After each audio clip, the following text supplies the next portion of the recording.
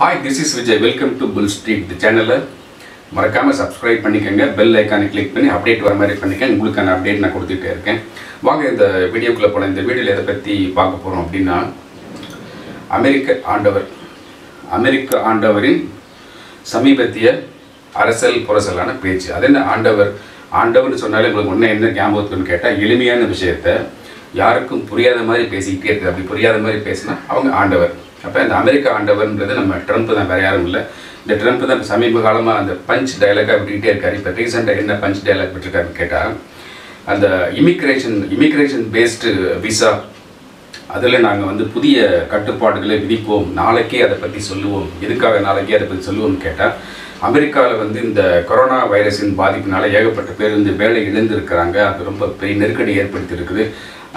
ஒவ்வொரு வாரமும் அந்த வந்து ஜாப்லெஸ் டேட்டா அப்படி போயிட்டே இருக்குது. நிறைய பேர் வந்து இது பதிவு பண்ணி வேலை இல்லைன்னு பதிவு பண்ணிகிட்டே இருக்காங்க. வேலைக்காக பதிவு பண்ணிகிட்டே இருக்கிறாங்க அப்படி இருக்கும்போது எங்களுடைய மக்களை நான் காப்பாற்ற வேண்டும் அல்லவா? நம்ம அண்ணன் மாதிரி எங்களுடைய மக்களை காப்பாற்ற வேண்டும் அல்லவா? அப்படிங்கிற மாதிரி வந்து ஒரு வீர வசனத்தை அப்படி விழாவரே சொல்லிட்டு இதை பற்றி இப்போ சொல்ல முடியாது. மெதுவாக நாங்கள் திடீர்னு அனௌன்ஸ் பண்ணுவோம் அப்படிங்கிற மாதிரி வந்து ஒரு கோடிட்டு ஒரு எச்சரிக்கையை கோடிட்டு காமிச்சிக்கிறார். அது என்னென்னா இமிக்ரேஷன் பேஸ்டு விசா அப்படிங்கிறது இங்கேருந்து வெளிநாடு போனவங்க அது எல் ஒன் விசான்னு சொல்லுவாங்க. இங்கேருந்து வெளிநாட்டு போனவங்க ஐடி இண்டஸ்ட்ரியில் போனவங்க அங்கே போய் பணிபுரிஞ்சிட்டு இருக்கும்போது அங்கேருந்து இன்னொரு நிறுவனத்துக்கு மாறுறது அங்கே நிரந்தரமாக அங்கே இருந்துட்டு இருக்கிறது நிரந்தரமாக இருந்துக்கிட்டே வந்து இன்னொரு வேலைக்கு மாறுறது அந்த மாதிரிலாம் இருக்கிறத இருக்கிறத வந்து நாங்கள் கட்டுப்படுத்துவோம். அதை வந்து யார் இந்த மாதிரி அதை அந்த வந்து யார் அதை வந்து அனுபவிக்க முடியாது அதில் என்ஜாய் பண்ண முடியாது. நாங்கள் அதை வந்து கட்டுப்படுத்திட்டு எங்கள் நாட்டு மக்களுக்கு எங்கள் அமெரிக்கர்களுக்கு நாங்கள் வேலைவாய்ப்பை உறுதி செய்வோம் அப்படிங்கிற மாதிரி சொல்லியிருக்கிறார். இப்படி சொல்லியிருந்தா உடனடியாக நம்ம நமக்கு என்ன ஞாபகத்துக்கு வரும்னு ட்ரம்ப் இப்படி சொல்லிட்டார் இதனால் என்ன பாதிப்புகள் ஏற்படும்? நம்ம நாட்டுக்கு ஏதாவது பாதிப்புகள் ஏற்படுமா? இந்த பக்கம் நம்ம சைனா பக்கம் அவன் போட்டு கொள்கிறான் இந்த பக்கம் நேபாள் ஏதோ சின்ன சில்வண்டித்தனம் பண்ணுறாங்க இந்த பாகிஸ்தான் எப்போவுமே நமக்கு வந்து வில்லனை தாக்குறேன் இப்போ ட்ரம்ப் இந்த மாதிரி பேசிட்டாரு அப்படின்னா இங்கேருந்து போய் அங்கே பணிபுரியக்கூடிய ஐடி நிறுவன ஊழியர்களுக்கு பாதிப்பு வருமா? ஊழியர்களுக்கு பாதிப்பு வந்தால் அந்த ஐடி நிறுவன நிறுவனங்களுக்கு பாதிப்பு வரும். ஐடி நிறுவனங்களுக்கு பாதிப்பு வந்தால் ஐடி பங்குகள் மதிப்பிலிருந்து விலை குறைந்து போயிருமா? அப்படிங்கிற மாதிரியான ஒரு சிந்தனை வந்து நம்ம மனசில் வந்து ஓடும் ஆமாம் இது உண்மைதான். அந்த மாதிரி ஆகத்தான் போகுது.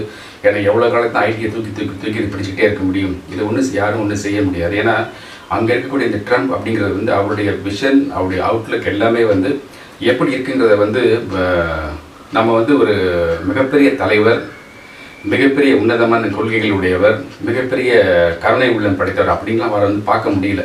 அவரை பார்த்தா என்ன தெரியுதுன்னு பார்த்தோம்னா ஒரு எப்போ பார்த்தாலும் வீராவசமாக பேசுகிறவர் மேடையில் வந்து ம- முழங்குறவர் மிரட்டல் பண்ணுறவர் இதை ஒழுங்காக பண்ணலை அப்படின்னா கடுமையான எச்சரிக்கை விடுறேன். கடுமையான விளைவுகள் இங்கே சந்திக்க வேண்டியிருக்கும். அப்படிங்கிற வார்த்தையை தான் அடிக்கடி பயன்படுத்திட்டே இருக்குது. நம்மளை மட்டும் கிடையாது. அவங்க நாட்டில் உள்ள அதிகாரிகள் கூட அப்படி தான் சொல்கிறாரு அந்த மாதிரி போயிட்டு இருக்கிற ஒரு தலைவர் வந்து என்ன எப்போ என்ன செய்வார் அப்படிங்கிறது தெரியாத நிலையில் இருக்கிற போது நிச்சயமாக அங்கே உள்ள அமெரிக்கர்களுக்கு வந்து வேலை வாய்ப்புங்கிறது வந்து பெரிய அது என்ன டைனோசர் கம்பா போயிடுச்சு அப்படி இருக்கிறதுனால வந்து அவங்கள காப்பாற்றுறதுக்காக எல்லா ரெஸ்ட்ரிக்ஷன்ஸையும் கொண்டு வருவார். அந்த விசாவில் வந்து அப்படி கத்தரி போடுவார் அப்படி கத்தரி போட்டார் அப்படின்னா வந்து ஐடி நிறுவனங்களுக்கு வந்து அது மிகப்பெரிய பாதிப்பை ஏற்படுத்தும்.